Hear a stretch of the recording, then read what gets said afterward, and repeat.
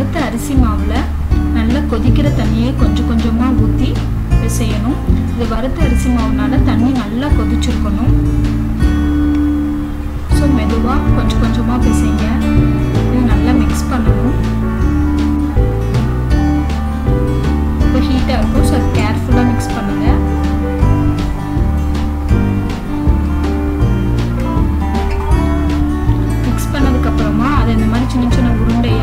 வச்சு அதை தட்டை மாதிரி தட்டி தட்டி வைக்கணும். ஸோ எல்லா மாவையும் ப்ரிப்பேர் பண்ணி வச்சுருங்க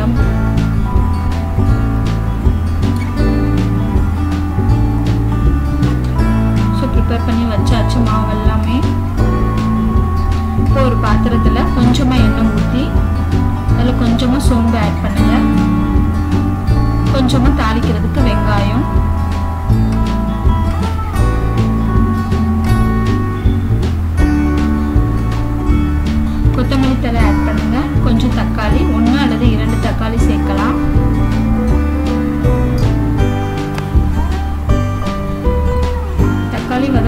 அப்புறம் இஞ்சி பூண்டு விழுது சேர்த்து அதையும் நல்லா வதக்கணும். வெங்காயம் பேஸ்ட்டு வெங்காயம் பேஸ்ட்டையும் கொஞ்சம் சேர்த்து நல்லா வதக்கணும். ஸோ இது வதங்கினதுக்கப்புறமா மிளகாய்த்தூள் சேர்க்கணும்.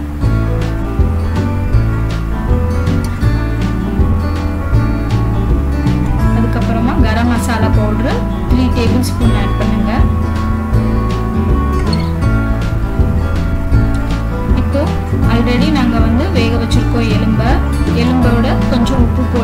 குக்கரில் வேக வச்சு வச்சுருக்கோம் ஸோ அதையும் ஆட் பண்ணுறோம் தண்ணியோடையே ஆட் பண்ணிடுங்க அதுக்கப்புறமா கொத்தமல்லி தூள். கொத்தமல்லி பொடி ஆட் பண்ணிவிட்டு தேவையான தண்ணி ஊற்றணும் இது என்ன அளவுனா ஒரு படி மாவு அரிசி மாவு எடுத்துக்கிட்டோம் அப்படின்னா வந்து ரெண்டு படி அளவுக்கு தண்ணி ஊற்றணும் ஸோ நம்ம எடுத்துக்க அரிசி மாவை விட இரண்டு பங்கு தண்ணி ஊற்றணும் தண்ணி ஊற்றி நல்லா கொதிக்க விடணும். மட்டன்லேயே உப்பு ஆட் பண்ணியிருக்கோம். இப்போ பார்த்தீங்கன்னா நல்லா கொதிச்சிருச்சு. கொதிச்சதும் அந்த அரிசி மாவு தட்டை பீசஸை வந்து உள்ளே ஆட் பண்ணுறோம் கொஞ்சம் கொஞ்சமாக ஆட் பண்ணுங்கள் ஸோ ஃபஸ்ட்டு ஸ்லாட் போட்டு நல்லா கொதிச்சு வெந்துருச்சு ஓரளவுக்கு.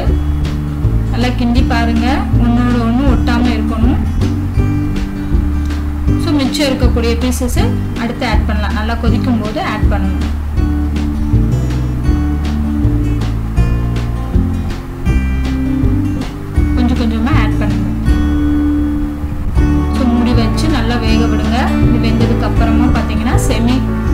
கிரேவி மாதிரி இருக்கும். ஃபைனலாக நம்ம தேங்காய் பேஸ்ட்டு கோகோனட் பேஸ்ட்டையும் ஆட் பண்ணணும். ஆட் பண்ணி நல்லா வேக விடுங்க. ஒரு ஃபைவ் டு டென் மினிட்ஸ் வரைக்கும் அந்த பேஸ்ட் வந்து நல்லா வேகணும்.